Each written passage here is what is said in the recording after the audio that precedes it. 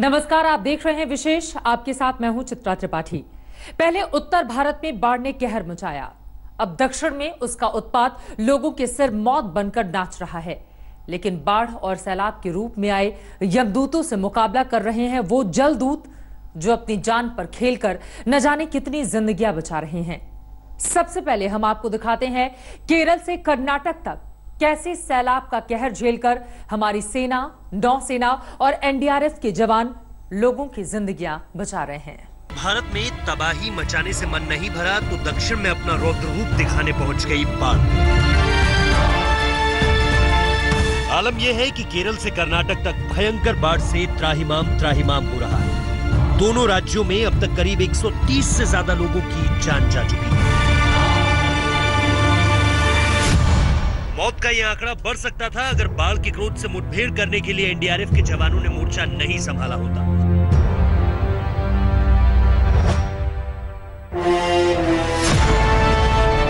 कहते हैं कि जल ही जीवन है, लेकिन जब यही जल रौद्र रूप ले लेता है तो काल बन जाता है। फिर ज़िंदगी बचाने के लिए इंसान को ज़मीन आसमान एक कर देना पड़ता है।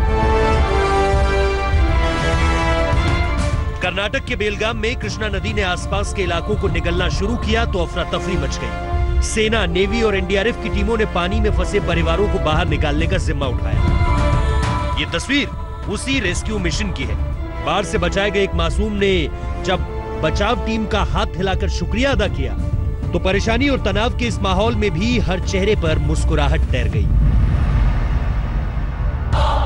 बाढ़ में फंसे कई बुज़ुर्ग ऐसे भी थे जो चलने फिरने में असमर्थ थे। बचाव टीम के सदस्यों ने इन्हें गोद में उठाकर बोट पर बिठाया और सुरक्षित स्थानों तक पहुँचाया। हाहाकार के इस हालात में सेना और एनडीआरएफ की रेस्क्यू टीमें किसी देवदूत की तरह प्रकट हो रही। लगातार हमने सात दिन से हम भी लगातार रेस्क्यू ऑपरेशन शुरू करवाए। पहला दिन ले हमने जोगल दो प्लेस मिला था, वहाँ पर हमने पूरा रेस्क्यू किया उसके बाद मिला हमने नोनिपानी रूट पर, वहाँ पर ब्लैक हुआ था। उसको भी हमने रेस्क्यू किया रेस्क्यू किया कम से तकरीबन वहाँ पर थर्टी फोर मेंबर को रेस्क्यू किया क्योंकि पूरा प्रेगनेंट लेडी था। इसके बाद आज कल से हमने यहाँ पर लगी हुई है। लगातार अभी कंटिन्यू चल रहा है। सुबह से हमने शाम तक लगातार कंटिन्यू चल रहा है। अभी चंदू टेक और याडूर, ये पूरा हमने रेस्क्यू किया, अभी तक कंटिन्यू किया है सर कर्नाटक के बेलगाम से आई ये तस्वीरें बाढ़ की विभीषिका बताती हैं। बाढ़ में घर के घर डूब गए।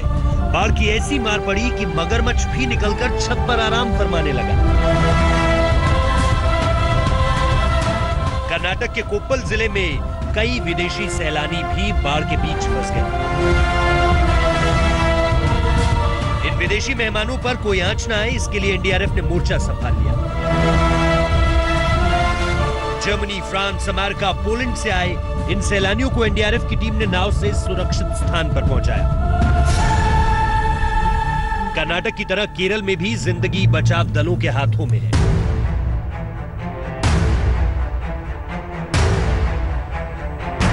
ये तस्वीरें केरल के पलक्कड़ की हैं। उफंती नदी के दोनों किनारों पर पेड़ों में रस्सी बांधी गई है और इसी रस्सी के सहारे एक महिला को खींचकर उस पार से इस पार लाया जा रहा है। तूफानी बारिश में नदी के किनारे एक परिवार अपने घर में फंस गया। थाश परिवार में एक गर्भवती महिला भी थी। तेज धार में तैरकर निकलना मुमकिन नहीं था और दूर दराज के इस इलाके में एनडीआरएफ की रेस्क्यू बोट अभी तक नहीं पहुँच पाई थी। पानी का स्तर पल पल बढ़ रहा था। फिर भी बचाव टीम ने रेस्क्यू की तरकीब अपनाकर परिवार की जान बचाई। पलक्कड़ से कम बड़ी आफत वायनाड में ही बरसी। पहले तो तूफानी बारिश ने आफत मचाई ही थी। लेकिन इसके बाद हुआ लैंडस्लाइड मानो कयामत का पैगाम ही लेकर आ गया। गाँव के गाँव मलबे में तब्दील हो गए हैं। कई लाशें निकल चुकी हैं, लेकिन बचाव टीम ने हिम्मत नहीं हारी है। मलबे के पहाड़ के बीच ज़िंदगी की तलाश लगातार जारी है। आज तक ब्यूरो।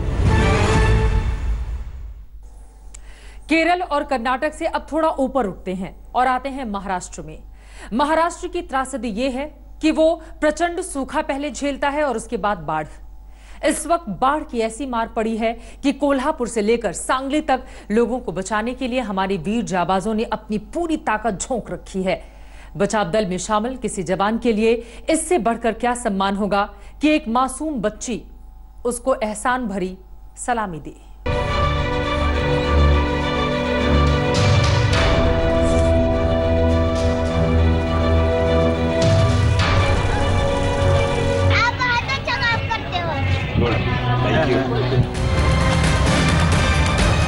देवदूत इसे ही तो कहते हैं। एक मासूम सी बच्ची की नज़रों से पूछिए तो वो यही कहेगी कि नहीं देखा है देवदूत तो इनको देखिए और फिर आसमान से उतरते फरिश्तों को सैल्यूट मारती है। आप बहुत अच्छा काम करते हो।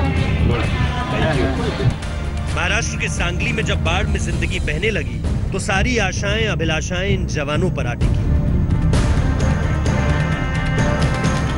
इन्होंने जान पर खेल कर लोगों को बचाया तो जज्बातों की बाढ़ ऐसे उमड़ी। रक्षाबंधन का पवित्र त्योहार चंद लम्हों पर खड़ा है। इन जाबाजों को भाई बहन के पावन पर्व से पहले सांगली में महिलाओं ने राखी बांधी, जिन्होंने सांगली में बाढ़ में फंसे लोगों की जान बचाई।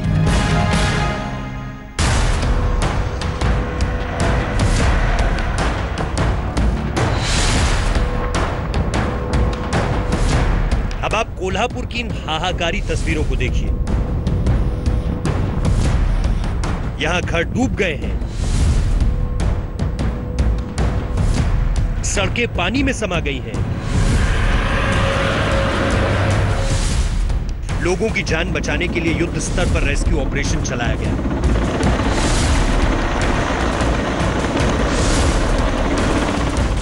सात दिन तक कोल्हापुर को कुदरत ने बंधक बनाया। सात दिन तक पूरे देश ने कोल्हापुर का यह हाल देखा। एक वक्त को तो लगने लगा कि कुदरत कोल्हापुर का नामो निशान ही मिटा देगी। न कोल्हापुर से बाहर जाने का रास्ता, न अंदर आने का। यहाँ खाना, पानी, दवाइयाँ, पेट्रोल सब खत्म होने लगा। तब सेना, नेवी, एनडीआरएफ के जवान पानी में उतरकर लोगों की जान बचाने पहुँचे। नाव लेकर हज़ारों लोगों को सुरक्षित जगहों पर पहुँचाया गया। इतनी बरसात हुई कि एक मंजिल तक पानी भर गया। कुदरत के इस कहर के बीच सात दिनों बाद कोल्हापुर को राहत की किश्त मिली है।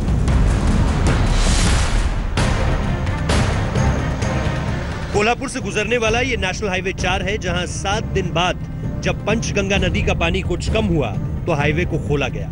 यह हाईवे पुणे और बेंगलुरु को जोड़ता है।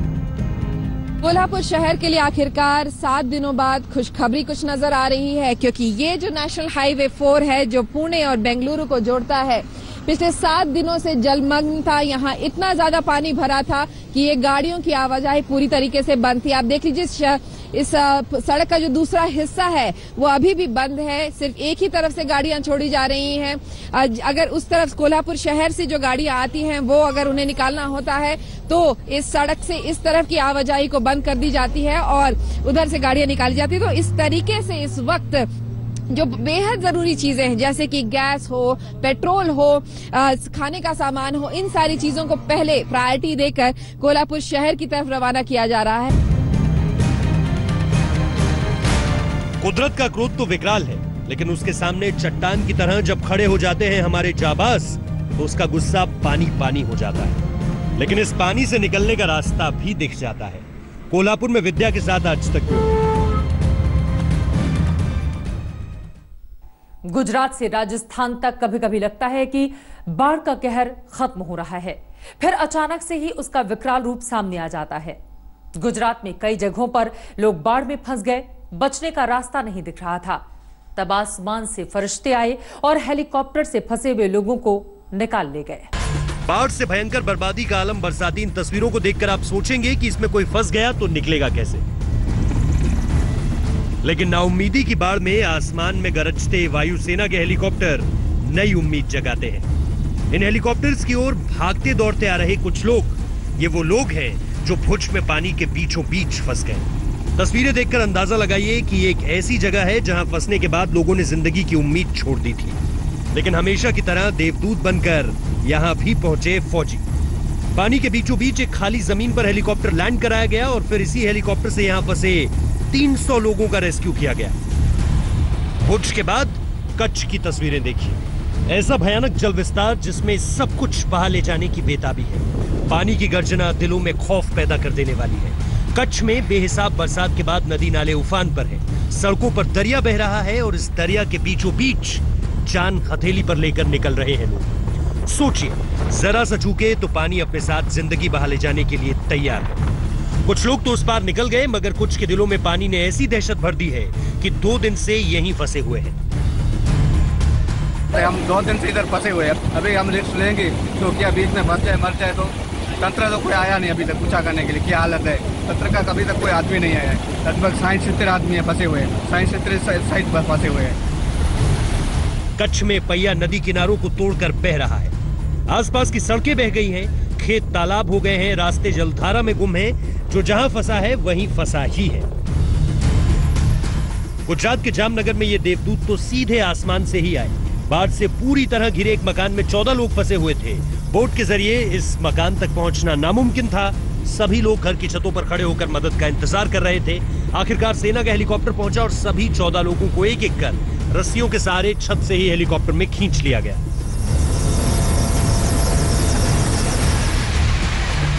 अब राजस्थान की बडवानी की इन तस्वीरों को देखिए, जहाँ मूसलाधार मुसीबत बरसी है। नदी किनारों को तोड़कर बह रही है। हालात कितने खराब हैं, उसकी गवाही ये तस्वीरें दे रही है। यहाँ सुरक्षित जगहों पर पहुँचने के लिए लोग रस्सी के सहारे ऐसे इस पार से उस पार जाते हैं। क्या बच्चे क्या बुज़ुर्ग क्या पुरुष क्या महिलाएँ? अगर इस पार से उस पार जाना है तो यही जतन है।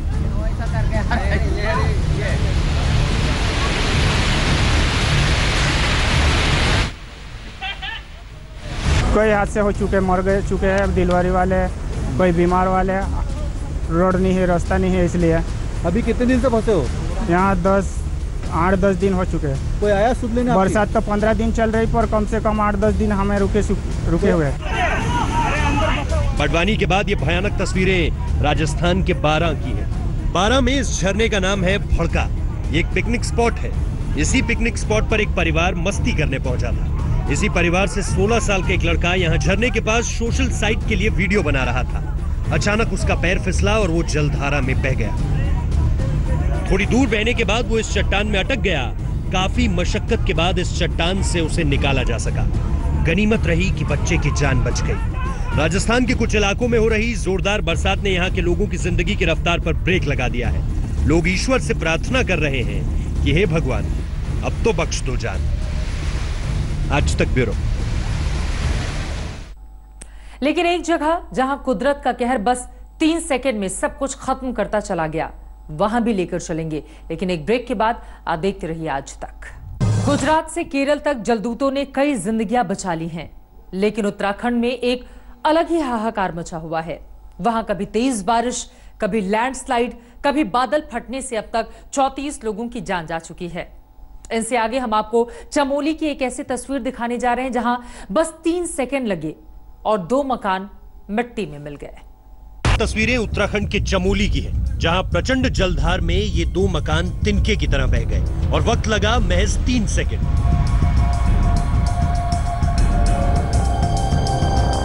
कुदरत के सामने इंसान की एक नहीं चली, पानी ने घरों की नींव खोखली कर दी। लहरों से लड़ते मकान लड़खड़ा गए और लड़खड़ा कर पानी में बह गए। गनीमत यह रही कि मकान में कोई मौजूद नहीं था। खतरा पहले ही भाप लिया गया था। चमोली में अलकनंदा नदी उफान पर। भारी बारिश से नदी ज़मीन को काटती जा रही है। अगर बारिश नहीं रुकी तो नुकसान इससे भी बड़ा हो सकता है। आज तक ब्यूरो। ये जलदूत भगवान का ही रूप है, जिनको हर कोई कह रहा है शुक्रिया। हमारी इस पेशकश में बस इतना ही। देश और दुनिया की हर बड़ी खबर के लिए आप देखते रहिए आज तक। लेटेस्ट खबरों के लिए यू ही देखते रहिए आज तक। और इस वीडियो के पसंद आने पर लाइक शेयर एंड सब्सक्राइब करना ना भूलें।